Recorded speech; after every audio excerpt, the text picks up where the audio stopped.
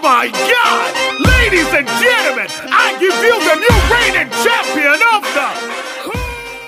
சேவல் கலையை நேசிக்கும் அனைத்து சொந்தங்களுக்கும் வணக்கம் நாம் சண்டை சேவல்கள் பற்றியும் கோழி வளர்ப்பு பற்றியும் அப்படியே சப்ஸ்கிரைபர் கேட்குற சந்தேகங்களுக்கு விடையளித்து வீடியோவாக போட்டுட்டு வரோம் அந்த வகையில் இன்றைக்கி நாம் ஒரு இன்ட்ரெஸ்டிங்கான டாபிக் தான் பார்க்க போகிறோம் வெத்துக்கால்களுக்கும் கத்திக்கால்களுக்கும் என்னென்ன டிஃப்ரெண்ட் இருக்குது அதை எப்படியெல்லாம் நம்ம கண்டுபிடிக்கலாம் பெயரளவில் அதில் என்ன வேறுபாடுகள் இருக்குது எல்லாத்தையுமே நம்ம டீட்டெயிலாக இந்த வீடியோவில் பார்க்கலாம் இது இல்லாமல் சப்ஸ்கிரைபர் நண்பரான சங்கர் பாலா அப்படிங்கிற ஒரு நண்பரும் வெப்போருக்கும் கத்திக்கால் சேவலுக்கும் உள்ள டிஃப்ரெண்ட் கேட்டிருந்தாரு.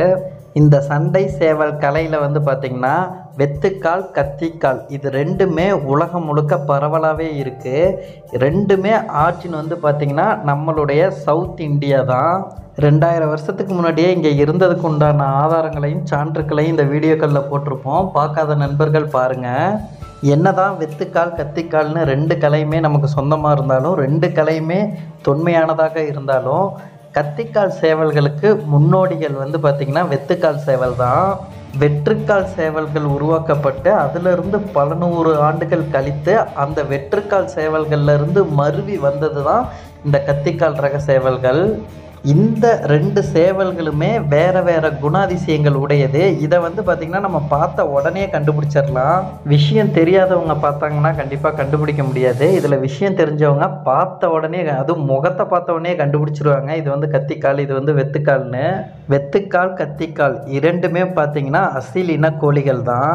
உங்களுக்கு இப்போது டிஸ்ப்ளே ஆகிட்டு இருக்கிறது வந்து பார்த்திங்கன்னா வெத்துக்கால் சேவல் இதனுடைய உடல் அமைப்பையும் முகத்தையும் பாருங்கள் அது மட்டும் இல்லாமல் இந்த சேவல்களுக்கு எல்லாமே ஒரு வருடம் ஒன்னேகால் வருடத்திலே வந்து பார்த்திங்கன்னா நல்ல ஒரு ஒன்றரை இன்ச்சு ரெண்டு இன்ச்சு முள் வந்து வந்துடும் இந்த சேவல்களுக்கு பார்த்திங்கன்னா பெரும்பாலும் வால் நீளமாக வராது. இதனை வந்து கட்டாளிகள் இறக்குறப்பயே இதனுடைய நெஞ்சு பகுதியை பிடிச்சி தான் களத்தில் இறக்கி விடுவாங்க. இதனுடைய போட்டி விதிமுறைகளும் வந்து பார்த்திங்கன்னா ஒரு ஒரு ஊர்லேயும் ஒரு ஒரு மாதிரி நடக்கும். சில இடத்துல வந்து பார்த்திங்கன்னா பதினஞ்சு நிமிஷம் சண்டை பதினஞ்சு நிமிஷம் தண்ணிங்கிற மாதிரி இருக்கும்.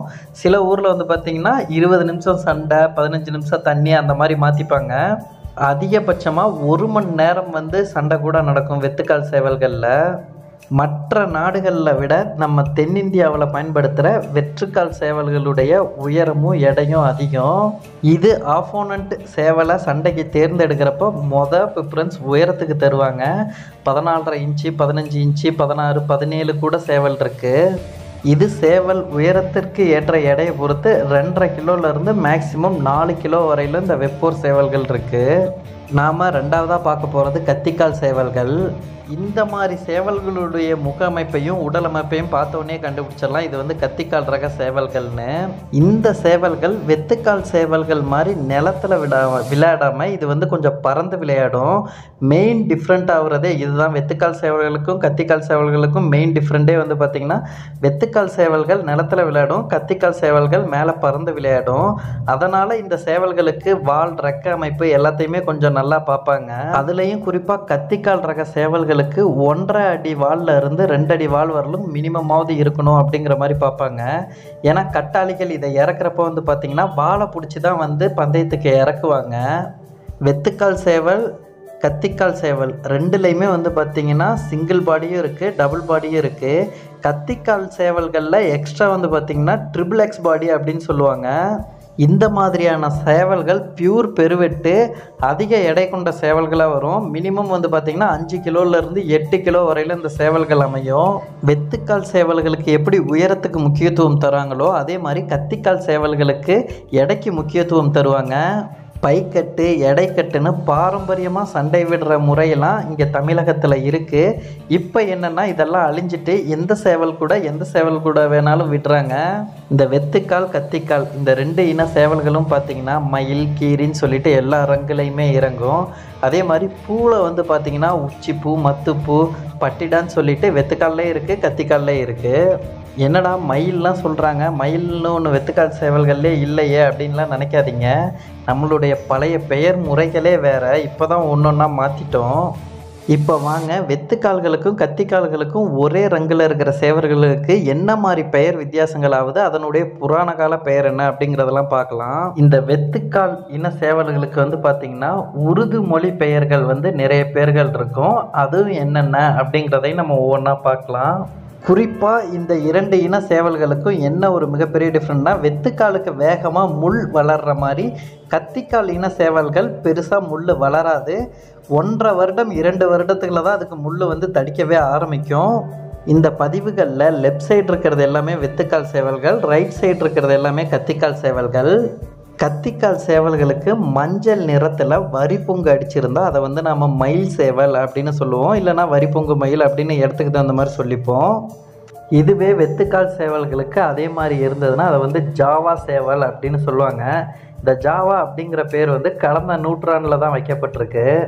கடந்த நூற்றாண்டில் ஜாவா அப்படிங்கிற ஒரு புல்லட் பைக் பார்த்திங்கன்னா பயங்கர பிரபலமாக இருந்தது. எதனால் அப்படின்னு கேட்டிங்கன்னா அது வந்து பார்த்திங்கன்னா அந்த காலகட்டத்தில் வேகமாக போகிற வண்டியே அது மட்டும்தான்.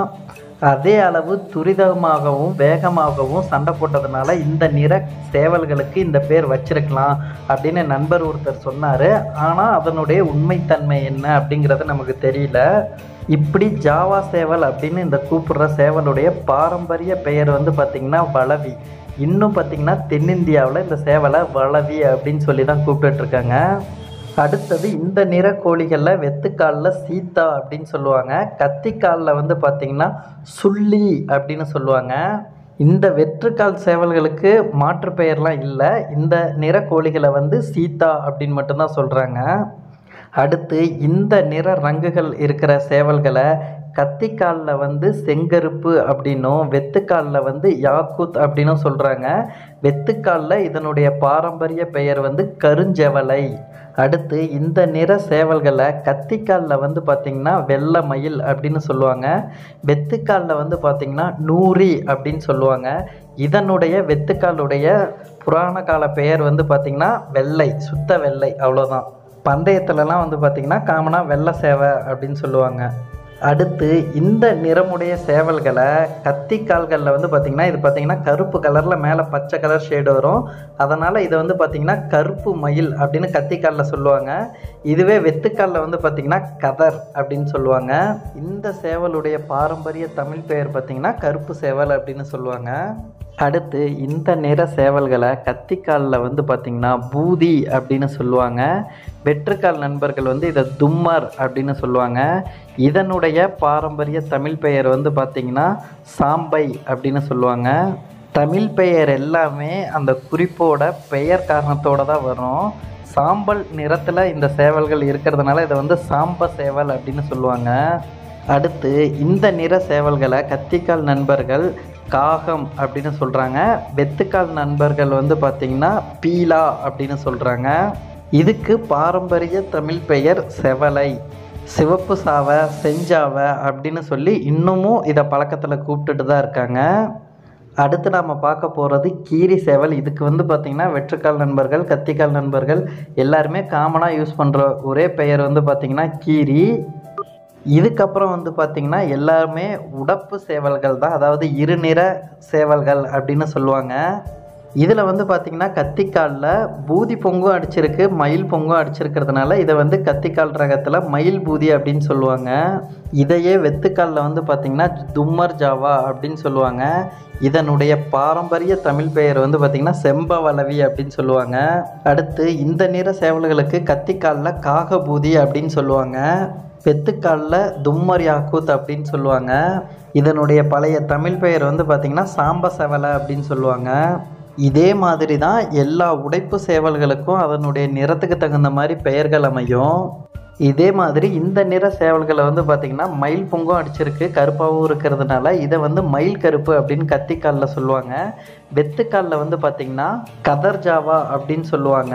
இதனுடைய பாரம்பரிய பெயர் வந்து பார்த்திங்கன்னா கரும்பளவி அப்படின்னு சொல்லுவாங்க.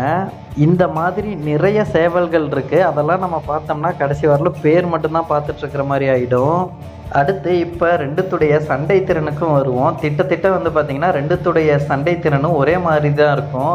ஒரு ஆயிரத்தி ஐநூறு மீட்டர் அத்லெட் பெயர் ஓடுறதுக்கும் அதே ஒரு அத்லெட் பிளேயர் நூறு மீட்ரு ஓடுறதுக்கோ எவ்வளோ எனர்ஜி ஸ்பெண்ட் பண்ணுவாங்களோ அந்த மாதிரி தான் இதில் ஆயிரத்தி ஐநூறு மீட்டருங்கிறத வெத்துக்கால் சேவலை மைண்டில் வச்சுங்க. நூறு மீட்ரு அப்படிங்கிறத கத்திக்கால் சேவலை மைண்டில் வச்சுங்க.